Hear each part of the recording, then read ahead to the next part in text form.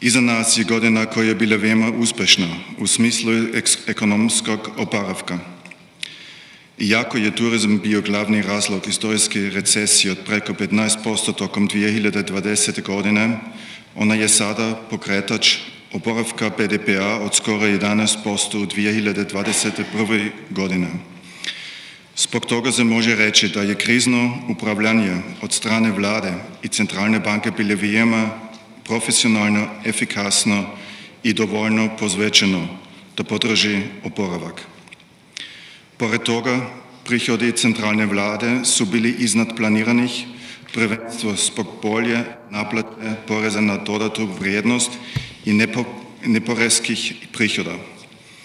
U ovom kontekstu vrijedi pomenuti i zakon o elektronskoj fiskalizaciji koji je stupio na snagu u junu ove godine, gdje očekujemo dalje pozitivne uticaje naplate PDV-a i suzbijanje zive ekonomije. Tu su i ostale pozitivne inicijative kao što su kreditne linije sa podršku bankama, osnivanje kreditnog garantnog fonda i na kraju, ali ne i manje važno, program Europa Sad. Iako tek treba odgovoriti na mnogo pitanja i definisati dinamiku implementacije, verujem da potencijalne koristi apsolutno opravdavaju uključene rizike. Pored svega toga, u ovom kontekstu također moram da ukažem na značaj blagovremenog uključivanja i proaktivne komunikacije sa poslovnim udruženjima. Trenutne političke turbulencije ne mogu više biti izgovor za nedostatak komunikacije sa međunarodnom poslovnom zajednicom kada je u pitanju implementacija ključnih reformi i regulative u cilju podrške ambicioznog plana pristupanja Evropska uniji.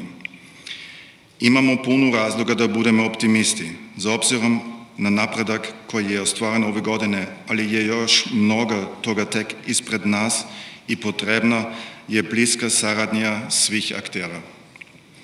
Zavjet stranih investitora od Crne Gore stoga ne samo da znažno podržava konstruktivan dialog između svih političkih partija, već i nudi svoje aktivno učešće i doprinos u procesu ekonomskih reformi za dobrobit svih građana i kompanija. Na kraju dozvolite mi da se zahvalim mojim kolegama u odboru direktora Savjet stranih investitora, našem izvršnom direktoru gospodinu Ivanu Raduloviću, kao i svim kolegama koji su podržali naše dosadašnje napore unutar i van savjeta.